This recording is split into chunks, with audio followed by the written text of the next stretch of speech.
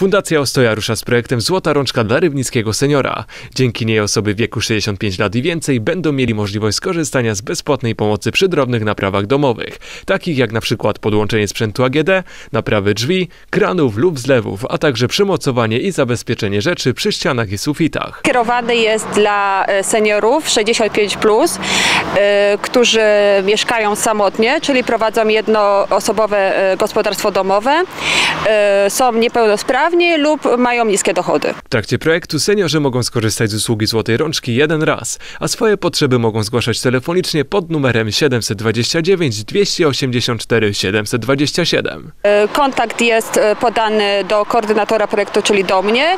Senior dzwoni, umawia się, podaje wszystkie dane. e, Następnie złota rączka udaje się do seniora i wykonuje e, potrzebne naprawy w domu już bezpośrednio u seniora. Naprawa nie może przekroczyć kwoty 100 zł brutto. E, Tutaj o koszt 100 zł to jest części, jakie są potrzebne do wykonania danej naprawy. To nie może przekroczyć 100 zł brutto. Spytaliśmy mieszkańców Rybnika, co sądzą o tej inicjatywie. Bardzo dobrze, bo starsi ludzie, wiadomo, są mniej sprawni, nie umieją sobie dać rady, mają niskie dochody. Super.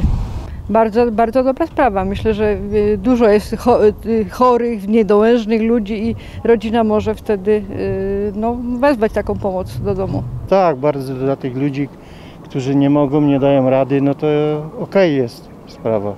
Koszt projektu wynosi 16,5 tysiąca złotych.